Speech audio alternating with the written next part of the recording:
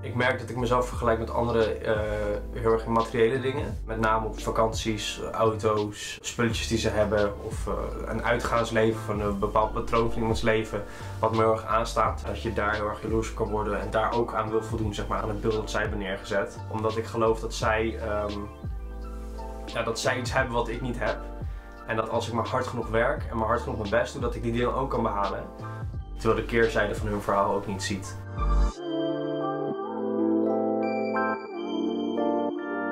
Op zekere hoogte. Omdat je vanuit ja, in ieder geval het cultuurtje waar ik in zit, um, dat er heel erg een, een haantjesgedrag en een uh, soort mannetjescultuur is van hé, hey, uh, je kan best gevoel hebben over hoe, hoe, het, hoe het ging, maar niet over hoe je diep van binnen met jezelf ergens mee zit.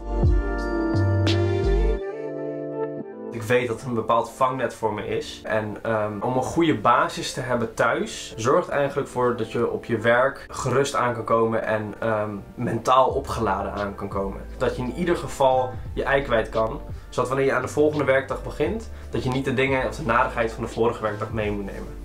Ik ben Daniel en ik ben open.